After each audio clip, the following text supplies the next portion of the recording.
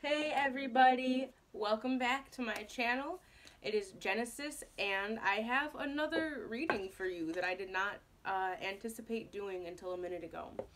So if you caught my other video, I was talking about, there we go, faith and home and gratitude as a practice of reception. Um, and right after that, I I felt like, or rather, I knew I needed to do needed to do another video. The one I started, oh yikes, was not correct. The judge just flew out with the queen. I love it. This is the archetype deck. I'm going to be using probably three decks, and we are going to have three different piles, okay? So, let's get started. I will do my best to keep this pretty short. This is just goddess guidance today, and I am not using the goddess deck that I have. I already have the goddesses in mind that we are working with. Um, pardon me. So we already know what's happening there, and I will tell you that in just a moment also. Actually, I won't tell you because there's going to be three piles. If you feel like you should be receiving guidance from more than one pile, you're more than welcome to. Um, but otherwise, I'm just going to let folks go ahead and pick. And I promise I will try to check timestamps and put them on here before I post this. I'll do my best. Okay, so without further ado, let's hop into our pick a card goddess guidance, okay? So this goddess guidance is specifically for, oh, for again, um, my femmes and people tapping into their feminine energy or just, again, whoever is drawn to it right now. Uh, whatever it is that you need to be expressing to have come out at this time to make the most for um, this full moon or just this time period in general. It doesn't feel specific to November. It feels more like these last couple days up to the full moon, but you could use this guidance going forward. So please take it as it resonates with you. Again, we have three goddesses coming up, and they are all all coming through very clearly. Um, I was really trying to get away from doing collective readings because it's kind of like there's so much going on right now. You really need to just trust your discernment. But for those of you who don't read or who cannot read for yourselves, don't feel comfortable doing it, if you're in a position that you can't afford to get a divination, um, I want this to kind of function as a stand in for you right now. Please go ahead. Also, feel free to check out the Taurus full moon guidance video, also. Okay. My three goddesses, you know who you are. May I please have one card from each deck for each of you.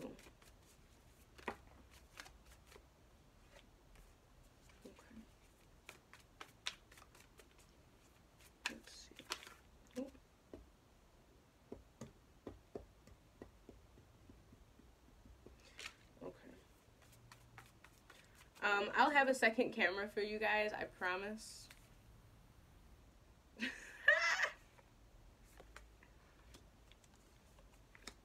okay. They're coming up quick. Not reading from the bottom of the deck. I will have a second camera for you guys. But right now, we just have the one. So I promise I will show you what cards I'm doing, or what cards I'm using.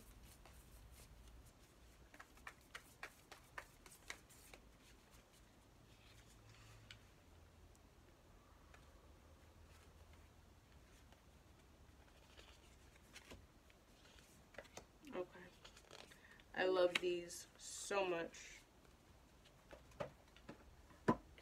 I'm going to say right now, these are also beginner, intermediate, and um, master level. So if you know you're at the beginning of your journey, please take the beginning message. If you know that you're a little more in the middle of your journey, take the middle message. And if you feel very comfortable, you got your ritual shit prepped and planned for Halloween, and I don't mean like little ritual shit, like I mean like you you know your shit, like you've been doing it, take the third one. Um,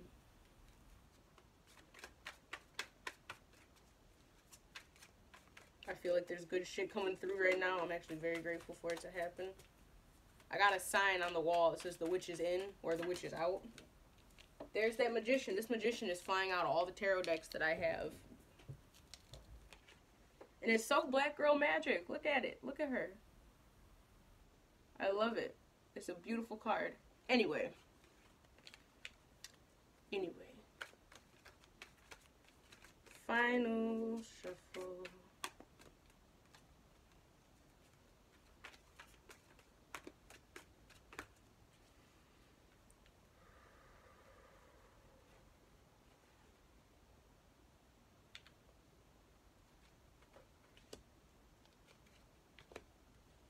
All right. Okay, yay!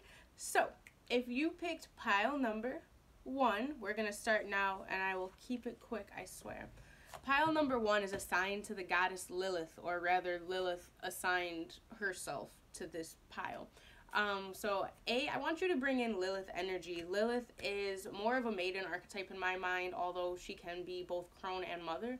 And this in this reading, in this sense, she's serving as very strong maiden energy. Lilith is known as a disruptor. She is known to, you know, bring chaos just because there are so many controversial opinions about her, whether or not she is actually actively wreaking havoc on somebody.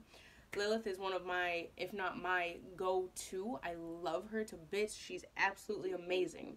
So, this is very strong energy. It's very self advocating energy. It's very headstrong energy kind of volatile, so be mindful when working with her. But she is phenomenal and she's very protective. If you feel call- called to work with her, if you wanted to work with her over time, take this as a sign to go ahead and put a prayer in her ear. The tarot for her is the Ace of Swords. Sorry for the glare. The ring light's not on. A different light is on. Anyway, uh, Ace of Swords is the tarot for her. The Flame, which I believe is card number 51 in the archetype deck. And Leap the universe will catch you. And that's from the Work Your Light Spirit Oracle. So again, I that couldn't be more Lilith than it is. Leap, the universe will catch you. Okay? Go ahead and take that jump. What is it that you are trying to accomplish? What are you trying to make happen? Take the first step. Take the first step. Even if it's a super small one, take that first step. That flame energy is there to support you. I will read that one in a minute. The Ace of Swords energy is there to support you. That's all the potential of clarity of mind. That's all the potential of communication. Be mindful when you come up uh, upon conflicts at this time. Go ahead and take a new approach. If you had an old approach for a long time, time to clear it out, cut it away, invite that Swords energy in. Really think about the King of Swords or the Queen of Swords who are making decisions from a healthy detachment, who are not letting their emotions rule everything this full moon is going to be emotional in my opinion even though it's in earthy taurus. We have the election coming up. We have mercury entering its post retrograde direct or its post retrograde directness or its post shadow period whatever. Um, i think mars retrograde is still happening for another 10 days so shit's a little icky out there. Be mindful. The flame to me also is bringing a light so before i even hit the book the flame is bringing a light okay light that fire. Light that fire. Let's move. It's Scorpio season. I know Scorpio's a water sign, but it still feels fiery to me often. So let's go. Deep waters. Make it happen. If you pick the middle pile, which is at 835, if you pick the middle pile, you have Sekhmet. Sorry. The base card for that is Trust the Niggle, which is so weird. I, I would always say a nagging feeling. But anyway, trust your nagging feeling, trust your gut. So Sekhmet is uh, an Egyptian goddess. She's known for having like a, her red side and her blue side kind of being raging and being calm. Uh, one of the stories about her is that she was created basically as a personification of Ra's rage. So Sekhmet's very protective also, but she helps us deal with the stuff that we're transmuting. She helps us transmute that energy for ourselves. I worked with her a lot also. I love Sekhmet to pieces. Trust that nagging feeling because you are going through a shift if you have this coming up right now. I want you to trust your gut and literally hunt out what it is that it's time for you to be changing. Um, and also just be opening your intuition. Uh, is one of the feelings that I get. The Bardo, which is card number 50, comes out, and it did initially come out reverse. The Bardo is a Tibetan, like, it, it's in Tibetan stuff and it's a space. I'm sorry, I messed that up completely. But it's like a dead space. Um, is my understanding. So it's not necessarily death, but it, it's just this kind of emptiness space or like a void space. So forgive me if I'm like explaining that poorly, but a with it coming out upside down, I feel like there's something that's been ignored. It came out reversed because there's something that has not been addressed that's stopping you from progressing forward. So one, wherever you have sadness, wherever you have rage, wherever you feel like you have not been loved, you have not been appreciated, you have not been uplifted, check into that space for me and see what's going on, okay? Uh, and flip that around so that you can actually look at it. There's nothing wrong with being in a space of emptiness, but what's wrong is letting things stay stagnant. The Five of Pentacles echoes that to me. Okay? And in a lot of decks that I've had, that window in the background of the Five of Pentacles is broken. And oftentimes when I read that, I'll say, you know, there's some progress happening. There's a breakthrough. It might be painful. Five is associated with change. It's like a small death, but there's progress happening in this case, when it came out on that top of that reverse Bardo, I really feel like there's some some motion that needs to happen that is not. Um, that said, proceed with caution. You might be being stagnant for a reason. Don't let this reading be the end all be all. Take your own account, take your own situation into account. Obviously, take this with a grain of salt if like it doesn't feel like it super applies to you. Um, but just be mindful. Just take a look at why certain things might be hindering you. If they're within yourself because like it's actually you, or if there are outside circumstances, and make sure you're not being hasty in a decision that that will actually, you know, not benefit you in the future the way you think it will. Um, of course, though, with that five being present, when we flip the Bardo right side up, and we trust that nagging feeling, now we're starting to make something happen. So this time is all about shifting your perspective, taking stock of what's really good for you, what's really healthy for you, what is actually safe for you, um, what's going to challenge you moving forward, and allowing all those things to come together to help you actually bring change to your external life. Remember, pentacles are our suit of material things, of um, creation, money, homes. So you want to be changing in a positive direction with that Five of Pentacles moving right along. I swear to God, I'm keeping it short and sweet. we have Isis. Isis is the final pile, and I'll be honest to say that I was surprised to see her come through or to feel her come through because I actually have not worked. She said that you know of. So I have not worked with Isis extensively, um, or at least in this lifetime, according to that message.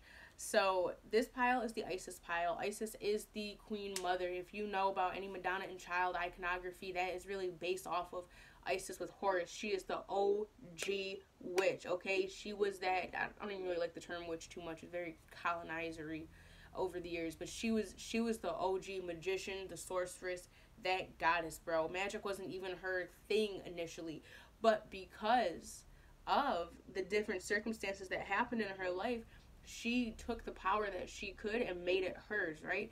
We know that she's a goddess of life and death because of resurrecting Osiris, all the way to the point where she basically created a new phallus for him when that was the only piece missing. That's the life giving piece on a man. She made all that life happen out of her grief, out of her despair, out of her tenacity.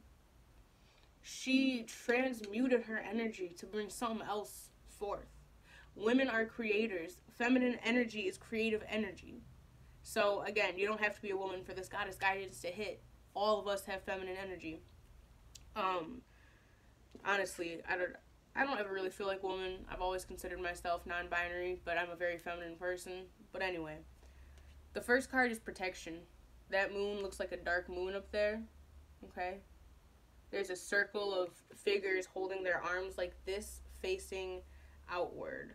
Actually, a lot of them are facing in, and then the one at the front is shielding and facing outward.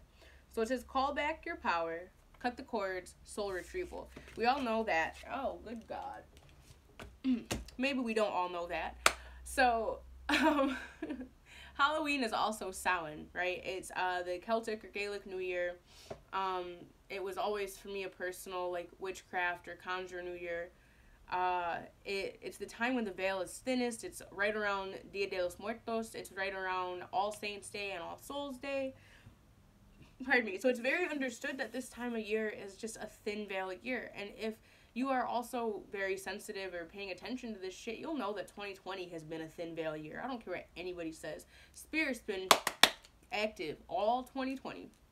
So, as we hit this time period, I want you, the people that are really adept, the people that are really doing your shit, to please practice extra caution and extra precaution. I just had a flash of stopping at Isis's temple at night. So if you do work with Isis, if you work with any of those deities, um, make your offerings and stop at her temple for protection. If you can just kind of like astral travel there, whatever, do your thing um, or or create a space of protection. Protection work is heavily count or I'm feeling protection work being heavily poured forth or suggested.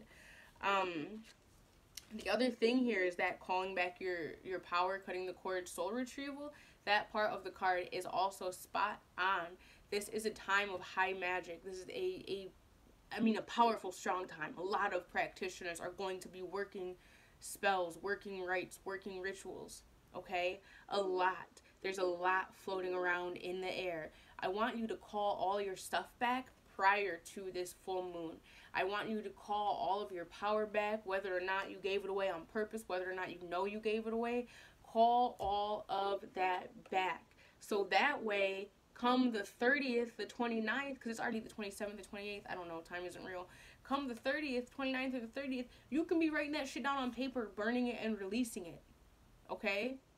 And then mix it all that ashes up with some salt and bury it in the ground on this earthy ass Taurus full moon and let the earth have it to be made new. I'm gonna need y'all to be calling your power back. All of my practitioners, please, because 2021 is not coming to play, and I really, truly, truly feel like Spirit is not coming to play either. If any of the pieces of you that you need are left back in another timeline because you did not get the message from one of the 950,000 million people putting them out there, that's on you. Spirit's gonna be frustrated because you're gonna be frustrated because we're in a lock in zone right now. Whatever it is that you are working on, baby, you're locking it in. You're locking it in. 2020 is the start of the decade. The decade. And we all know it's bigger than that anyway. So, all of my practitioners, all of you out here trying to really make these moves, and honestly, even the ones that are not practitioners, y'all that hit the beginner pile, if you suck around, you are locking in right now. It doesn't mean it's permanent, but it's gonna be really hard to get out of because you chose this timeline for the decade, and people have been giving you that warning all year. So please call back your power. The next card for Isis's pile is Apocalypsis, also from that archetype deck.